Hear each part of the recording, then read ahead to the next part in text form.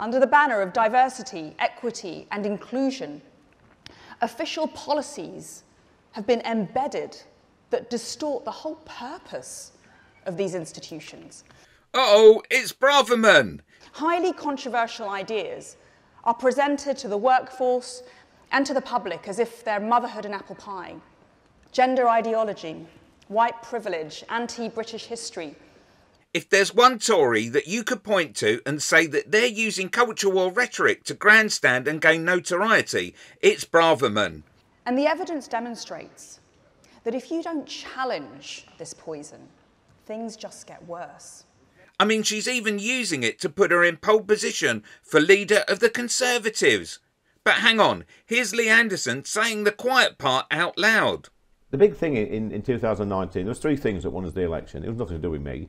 Uh, it was it was Brexit, it was Boris, it was Corbyn, mm. and it was as simple as that. Those three things together was a great campaign, mm. great ingredients. Um, at the next election, we haven't got those three things, so we're going to have to yeah. think of something else. It'll probably be a, cult, a mixture of culture wars and trans debate and.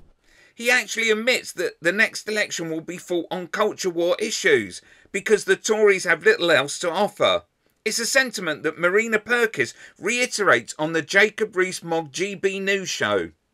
But I'm now joined by the political commentator, Marina Purkiss, who, as I understand it, Marina, you don't think the cultural wars really exist. Do you think they're essentially a, a right wing. Oh, no, I, um... think, I think they exist because people like you and your party in government, they desperately need them to exist because what else are you going to win the next election on? So um, they're not coming from people who want to pull roads down or want to edit Roald Dahl. Isn't mm. there a battle of ideas that is going on that sometimes get expressed in an extreme form? So what I think's happened is it's a distraction technique. So don't get me wrong, I think any calls to rewrite Roald Dahl, for example, or to rename a, a street. By the way, the street renaming, if we go into that, it was called Black Boy Lane. You know, that was why they renamed the street. I think that's fair enough if you had a street named, you know, White Trash, you might want to rename it. But I think what's happening here is you're drawing attention to these things that actually don't impact people's lives.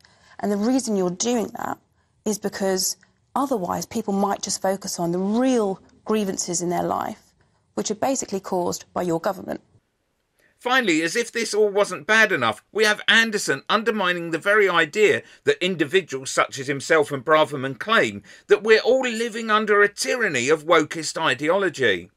Well, I think it's a load of nonsense, Peter. I mean, you stop 100 people in the street in Ashfield or outside here, ask them what white resentment is, they won't know. And quite frankly, if you told them, they wouldn't be bothered. So, really, what he's just said here is that most people don't know or care about these woke issues.